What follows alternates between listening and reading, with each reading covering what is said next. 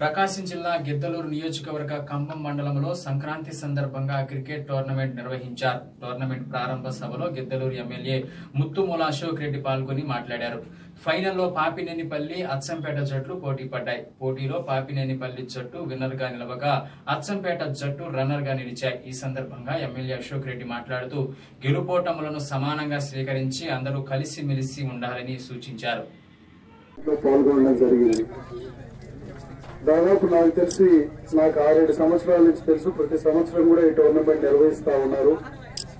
చిన్న గ్రామమైనా కూడా క్రికెట్ పట్ల ఉన్నటువంటి ప్రేమతో మక్కువతో ఈ టోర్నమెంట్ నిర్వాహకులు మా జనార్దన్ రెడ్డి గారు పోతిరెడ్డి జనార్దన్ రెడ్డి గారు అలాగే వారి యొక్క మిత్ర బృందం అంతా కూడా సీనియర్ టీం అందరూ కూడా ఈ కార్యక్రమాన్ని సక్సెస్ఫుల్గా వారు నిర్వహించడం జరిగింది. ఏదేమైనా కూడా క్రికెట్ అనేటువంటిది ఇది పదకొండు మంది ప్లేయర్స్ యొక్క సమిష్టి కృషితో విజయం వస్తుంది మనకి.